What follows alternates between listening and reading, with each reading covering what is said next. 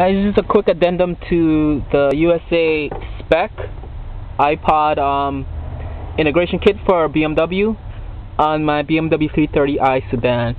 Um, tonight I put the aux in, the RCA aux plug in, and I set my dip switch to, I'm not sure if you can see, it's a little dark, to 1 in the off position, slot 1 in off position, and I ran my my cables through here. And I bought it up with my iPod cable. They both come out right there. And as you can see I have my phone connected and I'm gonna play and show you how it sometimes so that's my phone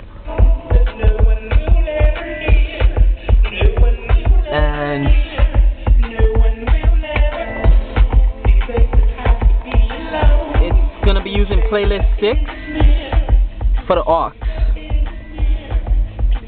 So I don't have my iPod connected actually right now. I forgot to bring it. But um, 6 is going to be aux.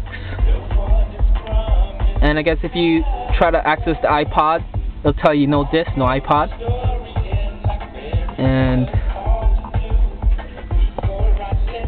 let me just turn the light on.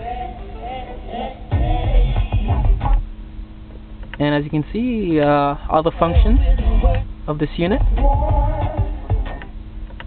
So it has my aux